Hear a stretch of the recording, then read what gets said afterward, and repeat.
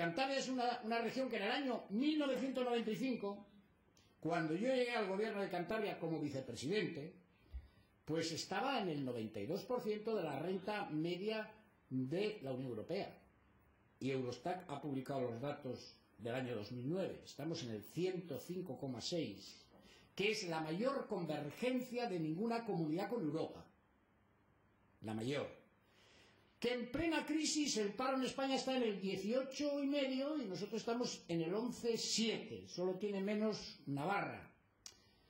Bueno, que hay indicadores pues que permiten augurar que cuando salgamos, porque de esta vamos a salir, pues que estemos en condiciones de coger también el flujo positivo eh, con mayor rapidez.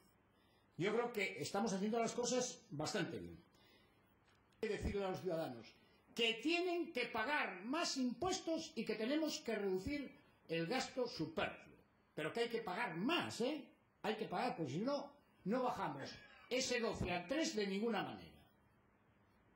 Yo, lo del IVA, creo que había otro recurso en España.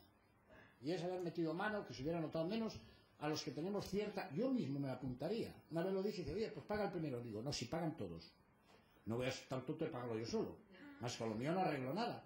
Pero por encima de ciertas rentas, haber tocado ¿eh? los tipos impositivos, pues durante una coyuntura a lo mejor de dos años, pues hubiera sido aceptado relativamente bien, creo yo, por la inmensa mayoría que no llega a esos niveles. Aquí hay gente que gana muchísimo dinero, que paga impuestos, pero que a lo mejor ahora en estos momentos tendría que hacer un esfuerzo. Yo soy uno de ellos.